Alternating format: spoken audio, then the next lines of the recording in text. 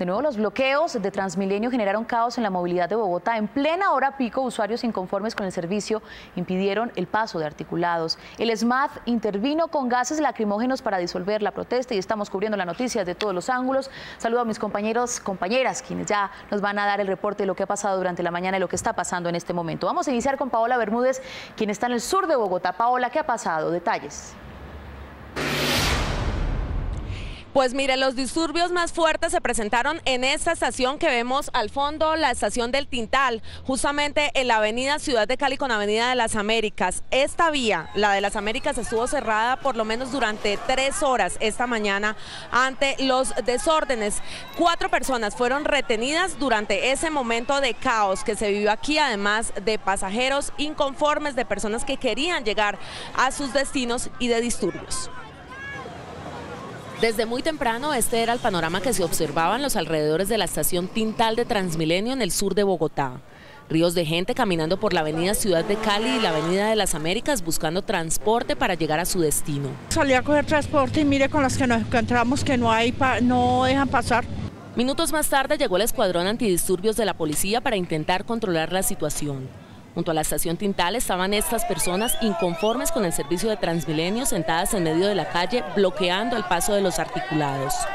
¿Cuál es el objetivo de este bloqueo? Tú eres uno de los organizadores. ¿Qué pasa? Cuéntame.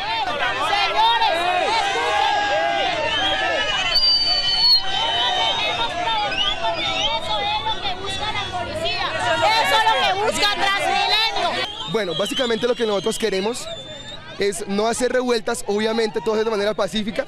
Nosotros no nos unimos con los de Suba ni con absolutamente nada en la vida para hacer esta revuelta. Mira, quiero que graben eso.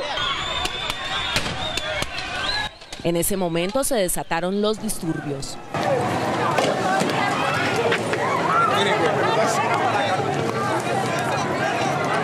Ellos estaban pacíficos, no hay ningún problema. Los del ESMAD, los del ESMAD llegaron de una vez eh, disparando gas de pimienta, disparándole a todo el mundo con esas armas de pintura.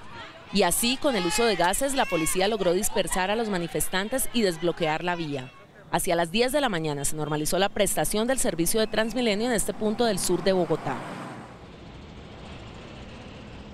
La Policía Metropolitana de Bogotá nos acaba de confirmar que en las próximas horas habrá una reunión entre representantes de esa institución, la policía, también de la Alcaldía de Bogotá y de Transmilenio, no solamente para analizar los videos, para determinar quiénes fueron los responsables de estos disturbios, de generar este caos y estos bloqueos de la mañana, sino también para tratar de determinar qué soluciones de fondo puede haber al problema de la prestación del servicio de transporte masivo en Bogotá. Desde el sur de Bogotá, Paola Bermúdez, Claro, Paola, porque esta no ha sido la única protesta en la ciudad capital. También tenemos que reportar que en menos de 24 horas 15 puntos han sido bloqueados por usuarios inconformes. ¿Qué está pasando con el sistema? ¿Qué responden las autoridades? Preguntamos todo esto a Juliana Moncada, quien nos informa a esta hora. Juliana, adelante.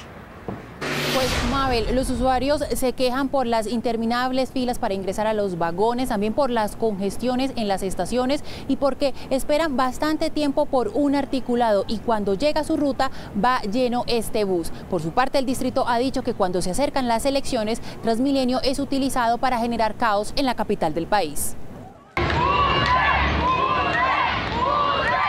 Estaciones de Transmilenio de las troncales de la Caracas, Avenida Suba, El Centro y Avenida Las Américas se han visto afectadas por bloqueos y protestas. Según Transmilenio, la operación de anoche se vio afectada inicialmente por un choque de latas, lo que generó retrasos en el servicio. Los ciudadanos, impacientes a la espera de articulados, comenzaron a protestar en la calle 76 con Caracas no se movía ningún bus. Por eso los pasajeros se bajaron y caminaron por el carril exclusivo para llegar hasta sus casas. Pues yo venía desde las 100 y me demoré como una hora hasta acá. ¿Y generalmente cuánto demora? 20 minutos. Del portal de Suba hasta acá. Casi, no, media hora no, una hora. En el caos, los vándalos aprovecharon para atacar la estación de la avenida Jiménez, forzaron las puertas e ingresaron varios jóvenes. Minutos después, este hombre de saco azul coge a patadas las puertas intentando destruirlas. La gente que se encontraba en la estación se quedó perpleja. Miren a este otro hombre, se ubican los torniquetes y le abre paso a los usuarios para que evadan el pago. Algunos dicen que no y pasan su tarjeta, mientras que otros aprovechan el desorden y se cuelan. La policía detuvo al responsable. Y hoy de nuevo, hacia las 7 de la mañana, pasajeros se bajaron de las estaciones y empezaron a pedir buses y a bloquear el paso. Los desórdenes empezaron en Suba y en las Américas. Pero, ¿qué pasa con este sistema de transporte? Las quejas más frecuentes son por la congestión, las largas filas y la baja frecuencia de rutas. Nos tardamos esperando más de 25 minutos un servicio que se supone que debería pasar cada 5 o máximo cada 8 minutos. Y tarda 25 minutos. Cuando por fin llega, viene lleno. Este servicio es malísimo, el transporte es caro, es muy caro. Esto, esto está pasando porque nunca mandan los buses de seguido. En Transmilenio lo roban a uno.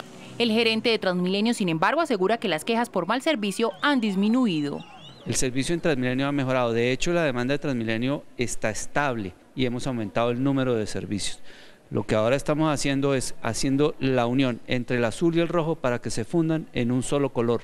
Y según el funcionario, estas protestas podrían estar ligadas a la cercanía de las elecciones. Se apreció a usuarios con las maletas cargadas de piedras, a usuarios con toda la intención de vandalizar.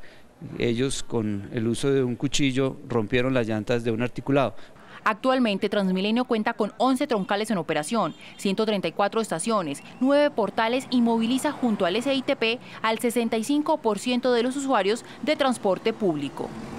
Las autoridades distritales investigan si estas eh, protestas fueron incitadas y con los videos de cámaras de seguridad intentan identificar a las personas que vandalizaron algunas estaciones. Desde el norte de Bogotá, Juliana Moncada, en Noticias Caracol. Gracias, Juliana. Más adelante nos volvemos a conectar. Vamos en este momento al centro de control de Transmilenio, 12, 12.39 minutos de la tarde, plena hora pico, y allí está Jennifer Montoya. ¿Cómo avanza Transmilenio todo el servicio a esta hora, Jennifer? Mabel, mire, aquí también 12 y 39 y 19 segundos en el centro de control de Transmilenio, en el cerebro de este sistema. En este momento hay tranquilidad en el sistema, pero hay que decir que entre las 6 y media y 8 de la mañana se veía una total crisis, bastante tensión, muchas informaciones después de los bloqueos que se comenzaron a generar en el Tintal y también en Suba, luego en el portal Américas. Miren, los videos que logramos capturar aquí en la sala de control, vimos que incluso hasta los visitaxistas lograron bloquear el sistema, mucha gente bajándose de los articulados en las diferentes troncales que fueron afectadas, pero esta hora déjeme mostrarle, hay total tranquilidad, vamos a ver algunas de las imágenes y de las estaciones que esta mañana estuvieron bastante afectadas. Humberto, por favor, muéstrenos en este momento, suba que esta mañana estuvo bastante complicada la situación. Sí, en este momento se presenta total normalidad en el sistema y estamos viendo suba, eh, plataformas descongestionadas y estamos en la hora valle.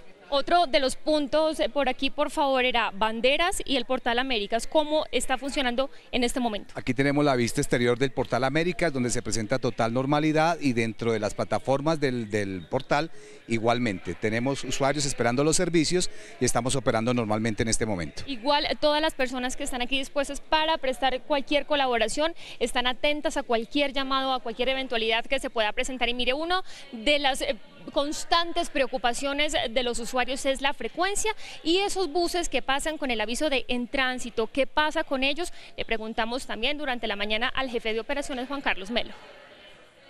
Esto es como la circulación en el cuerpo humano. Si se detiene en alguna otra parte vamos a tener dificultades. Por eso mismo es que tenemos que hacer una invitación a los ciudadanos a que no hagan este tipo de comportamientos, porque 10 ciudadanos, como nos expresaba nuestro gerente anoche, pueden hacer que 270 mil personas tengan dificultades en transportarse a su casa.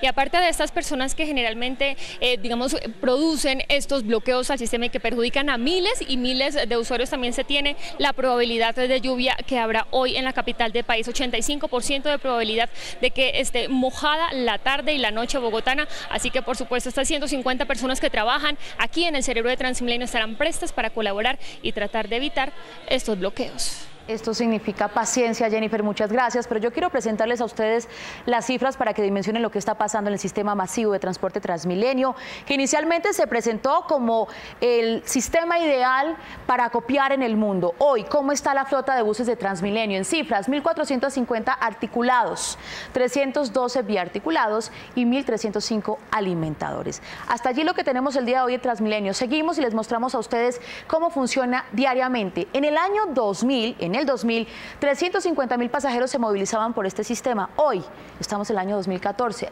2.300.000 pasajeros se movilizan diariamente en este sistema de transporte masivo de la capital. Y en el tema de infraestructura, cabe recordar que todavía tenemos tareas pendientes, especialmente para la avenida Boyacá y la ampliación también de la troncal de Soacha, pero en sus inicios este sistema arrancó con 10 kilómetros construidos. Hoy tiene actualmente 112,9 kilómetros construidos. ¿Qué está pasando? Porque los usuarios se quejan por el servicio que eh, les presta el transporte masivo, no llegan puntuales, no tienen, digamos, alta, tienen alta demanda, pero no están puntualmente allí los buses y se sienten muy incómodos, dicen los usuarios, con lo que les está prestando Transmilenio. ¿Cuáles son las soluciones? La pregunta está abierta. Vanessa.